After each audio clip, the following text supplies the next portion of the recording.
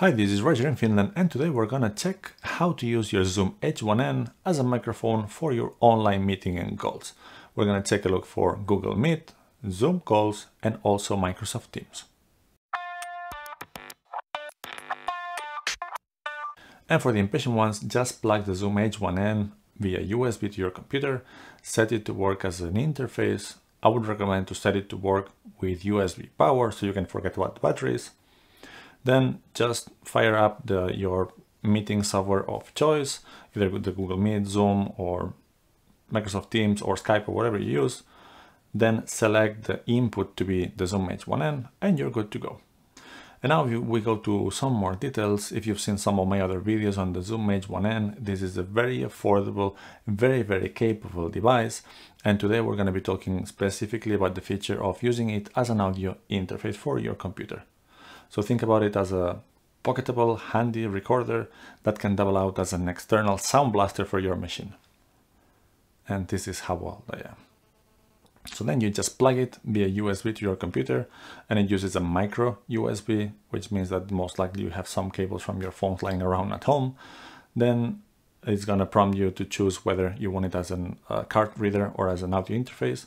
And here, by the way, if you choose a card reader, it's just going to appear you as a normal folder or a drive in your computer.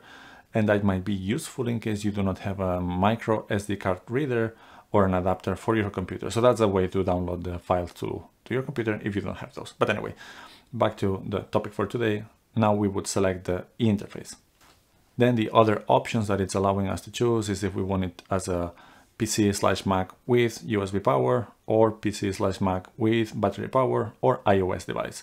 I do not have a Mac or iOS devices, so I'm going to be showing stuff in a Windows machine. So that's what we'll use. And I definitely will use the USB power because then it means that I can just forget about batteries, which is great.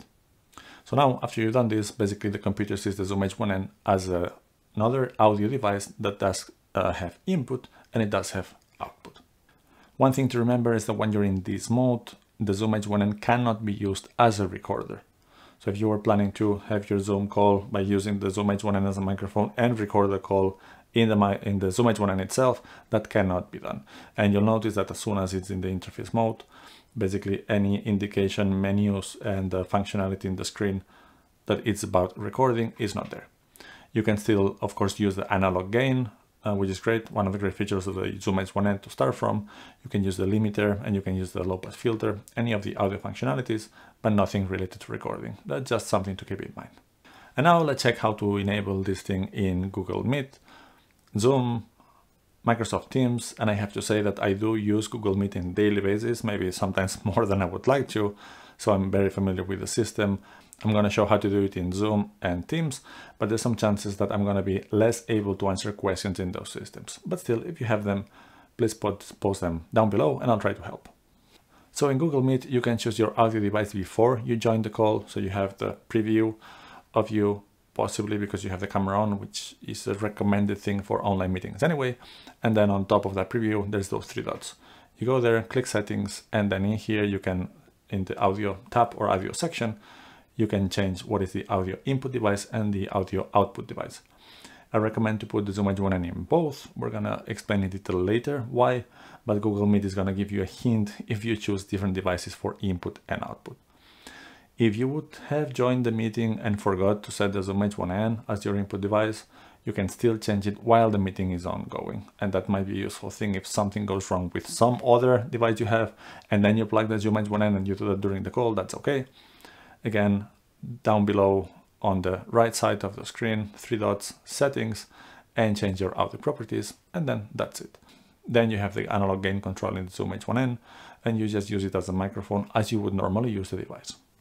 In Zoom, let's take a look. I'm gonna do it within the call, and on the lower left corner of the Zoom interface, there's the icon of the microphone with a small arrow if you click on it, then you will be able to select the different input and output devices. Again, I would suggest to do both input and output the Zoom H1n and you're good to go. In Microsoft Teams, still very similar.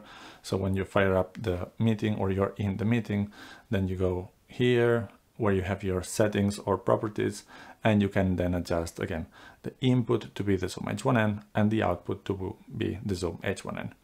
As you can see, my computer does not tell me Zoom H1n, so it's a longer string because I've been saying to use the Zoom H1n as both input and output. Now the question is, should I use it just as a microphone or also as an output device?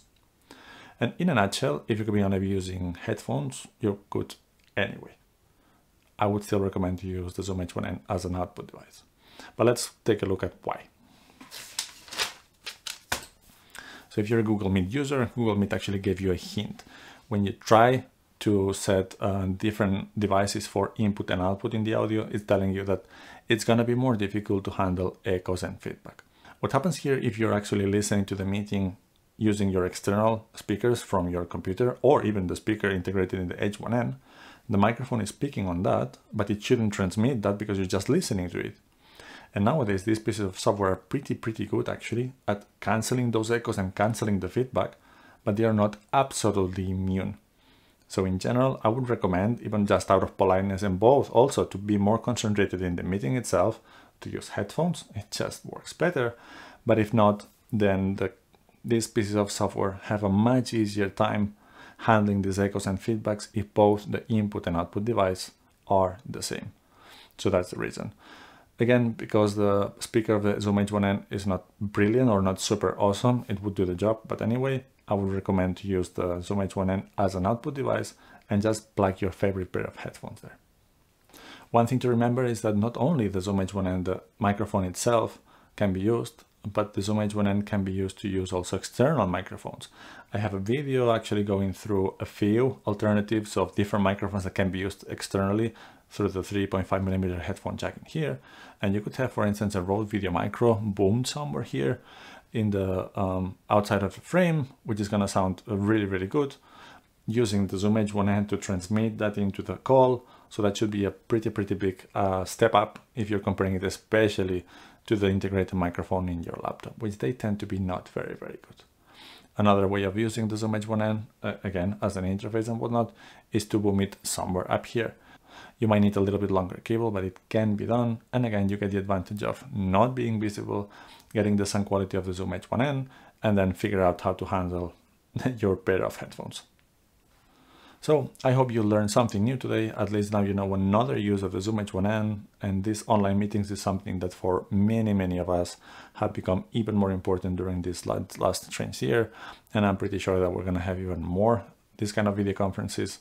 So I think that anything that is helpful to improve the video and especially the audio of those meetings is just a helpful thing.